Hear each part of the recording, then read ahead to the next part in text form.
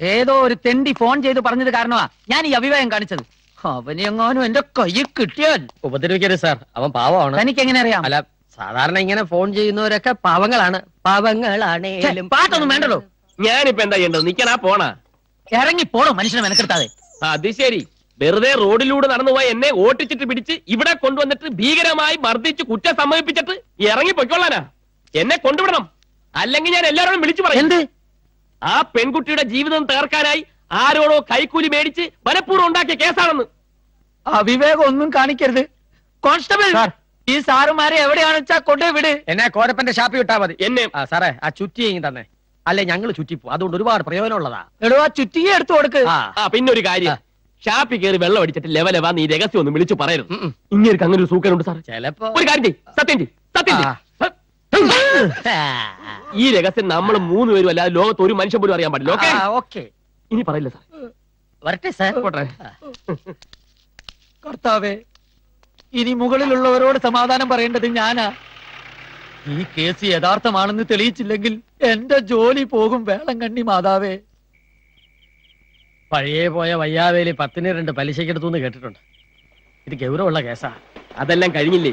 കേസും പോയി. കിട്ടുക അത് വക്കീലിന്റെ പണിയല്ല പോലീസിന്റെ. ബാല നീങ്ങി വാ. എന്തിനാ? നിനക്ക് നിന്റെ അനിയനെ വിശ്വാസമുണ്ടോ? വിശ്വാസമുള്ളതുകൊണ്ടല്ലേ അവനെ പഠിപ്പിച്ച് വക്കീലാക്കിയത്? ആ. എങ്കിൽ പ്രതി നീ ഞാനോ? അവനെ പഠിപ്പിച്ച് ഈ നിലയിലാക്കിയിട്ട് ഇങ്ങനെ ചൊറിയും കുത്തി ഇരുത്തിയാ മതിയോ? അവനൊരു ഉഗ്രം വക്കീലാക്കി രംഗത്തിറക്കണം ആ ഈച്ചര പിള്ളയെ വീട്ടിലിരുത്തണം.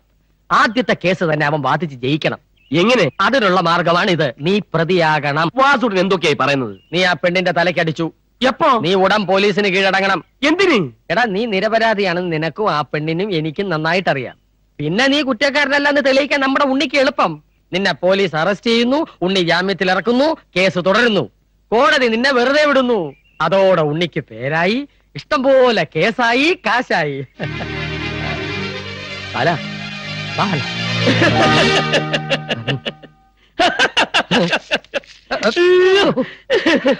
കള്ളടിച്ച് കള്ളടിച്ച് ഈ തല മുഴുവൻ കള്ള ബുദ്ധിയാണല്ലേ? പോലീസ് സ്റ്റേഷനിലും ലോക്കപ്പിലും കയറി നിരങ്ങുന്ന നമുക്ക് എന്ത് നഷ്ടപ്പെടാനല്ലേ? കിട്ടാനുള്ളത് നമ്മുടെ ഉണ്ണിക്ക പേരും പെരുമയും. അത് തന്നെ. പക്ഷെ വാസോട്ട സ്റ്റേഷനിൽ ചെന്ന് പ്രതി ഞാനാണെന്ന് പറഞ്ഞാൽ വിശ്വസിക്കൂ. അതിനും മാർഗമുണ്ട്. ഹലോ? ഹലോ പോലീസ് സ്റ്റേഷനല്ലേ? അല്ല നിന്റെ അളിയന്റെ വീടാ. അവിടെ ഇത്ര പെട്ടെന്ന് ഫോൺ കിട്ടിയോ? നമ്പർ മാറി. അളിയന്റെ വീടാ കിട്ടിയത്. അളിയ ഹെർണിയ ഓപ്പറേഷൻ കഴി അളിയനല്ല നിന്റെ തന്തയാ. കാര്യം പറയടാ അയ്യോ തന്തയ്ക്ക് വിളി കേട്ടു പോലീസ് സ്റ്റേഷനാ കാര്യം പറ. തലക്കടിച്ച പ്രതിയെ കിട്ടിയോ സാർ എന്താ നിന്റെ കയ്യിലുണ്ടോ? കയ്യിലില്ല. സാറിന്റെ അതിർത്തിയിൽപ്പെട്ട ലോറി തെരുവിലൂടെ ഒരു റിപ്പർ കയ്യിലൊരു ചുറ്റികയുമായിട്ട് മൂന്നാൽ തവണ അങ്ങോട്ടും ഇങ്ങോട്ടും ഓടുന്ന കണ്ടു.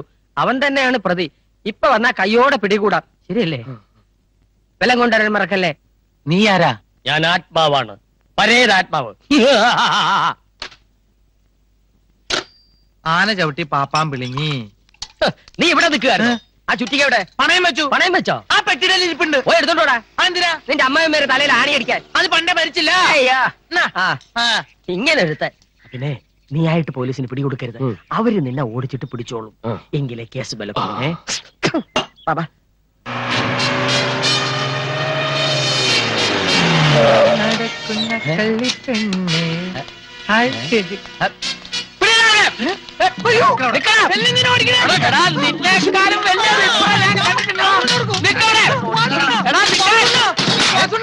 ഞാൻ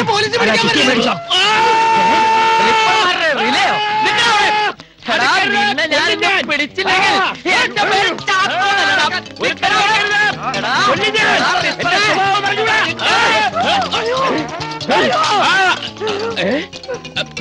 എന്നെ അമ്മ പിടിക്കുന്നില്ല. എന്നാൽ ഇനി പിടികൊടുത്തോ.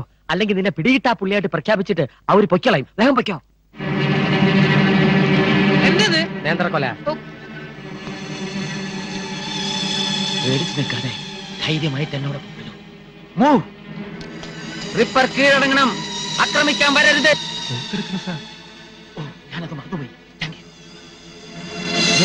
Hands up! കൈ താഴെ ഇടുന്ന കഴുതകളെ. നിങ്ങളോടല്ല പറഞ്ഞു!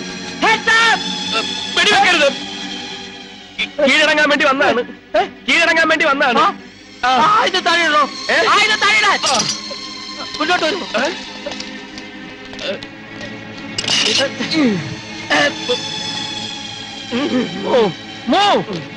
എന്താ വാസണത് മീനാക്ഷിയെ തലക്കടിച്ച കേസാ. തലക്കടിച്ച കേസാണോ?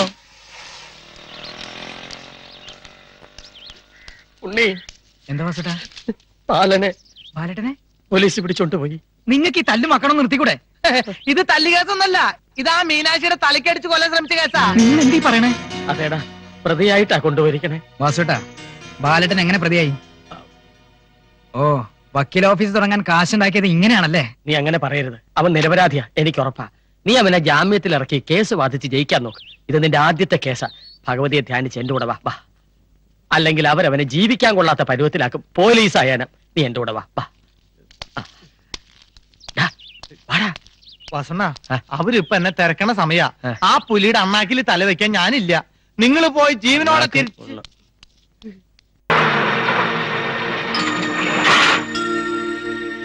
ഓഹോ ഉഗ്രൻ. നിന്റെ ഭാര്യ വീട് കൊള്ളാം. ആരും കുറ്റം പറയില്ല. ഓഹോ അയ്യോ ഇതൊന്നല്ല ഒൻപത് ലോറി കയറ്റിയിടാനുള്ള സ്ഥലമുണ്ടല്ലോ. ഇനിമേൽ ഈരാളി ഇവിടെ അല്ലേ കിടക്കാൻ പോകുന്നത്? നീ ഭാഗ്യവാനാണ്. ബെല്ലിന് ശബ്ദം കുറവാണെന്ന് തോന്നുന്നു.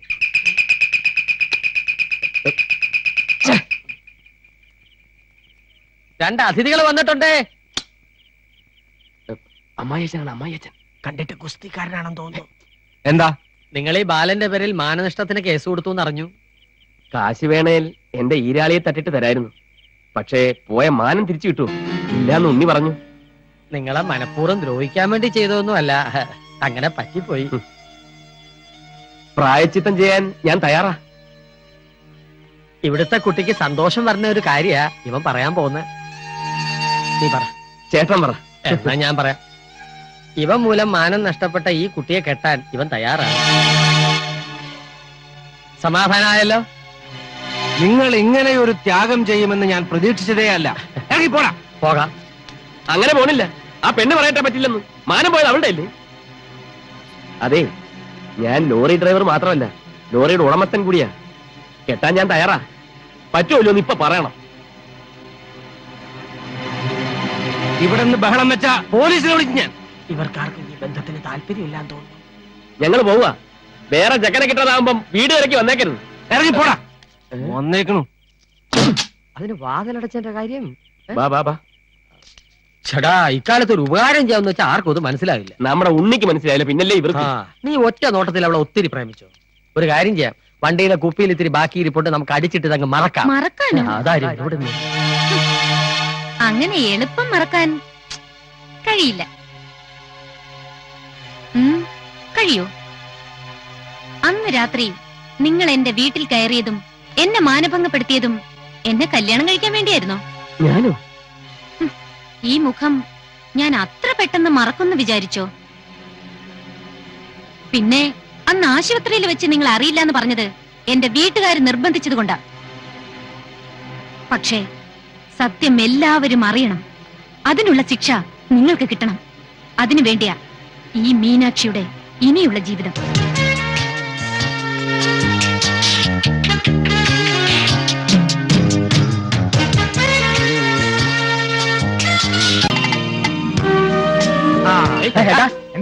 അല്ല ഈ ബോർഡ് പോലെ കറുപ്പയാ ഒന്ന് വൈറ്റാക്കാൻ വിചാരിച്ചിട്ടാ. അത് നിന്നെ മോന്തക്കടിക്കടാ ഒരു തൊട്ടിയിൽ കലക്കി അവനെ സമൂല മുക്കിയെടുക്കണം തൊട്ടി. എന്താ സുഷ്കാന്തി ഓസണ്ണന്റെ?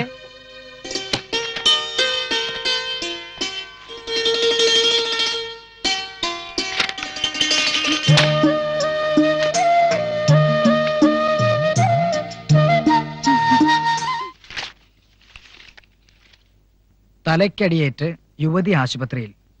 ഇത് കൊലപാതക കേസാ. ഇന്ന് വെളുപ്പിന് നടന്ന സംഭവമായതുകൊണ്ടാ സായന പത്രത്തിൽ വന്നത്. വീട് സ്ഥലമൊക്കെ ഇതിലുണ്ട്. വേറെ വക്കീലന്മാരെ കൈവെക്കുന്നതിന് മുമ്പ് നീ ഒന്ന് ശ്രമിച്ചു നോക്ക്. ഒരു K K P P. K K P പിയോ കിട്ടിയാ കിട്ടി പോയാ പോയി. അങ്ങനെയാണെങ്കിൽ ഞാനൊരു എച്ച് ഐ പി പിയാ? ഒരു ഹെൽപ്പർ. അതൊക്കെ പോട്ടെ. ഉണ്ണിക്ക് സ്വന്തമായിട്ട് ഒരു വക്കീൽ കട തുടങ്ങിക്കൂടെ? നിങ്ങൾ വിചാരിക്കണ പോലെ അത്ര നിസാര കാര്യമാണോ വക്കീൽ ഓഫീസ്? ഈ തെരുവിലൊരു മുറി വാടകയ്ക്ക് ഇടണമെങ്കിൽ പകുതി എത്ര കൊടുക്കണം?